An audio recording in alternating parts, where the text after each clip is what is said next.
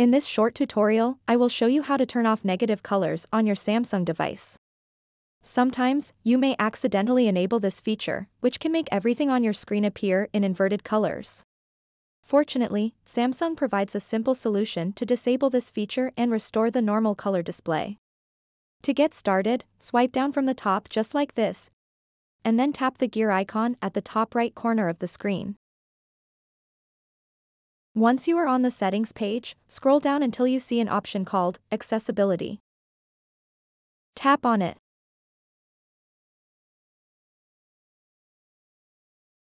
And then tap Visibility Enhancements. Now you'll see an option called Color Inversion. So if you have this enabled, like mine, that's what's causing the issue.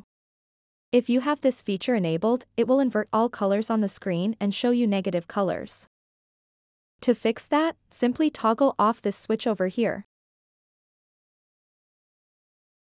And now you've successfully disabled this feature, and your display will go back to the original normal color mode.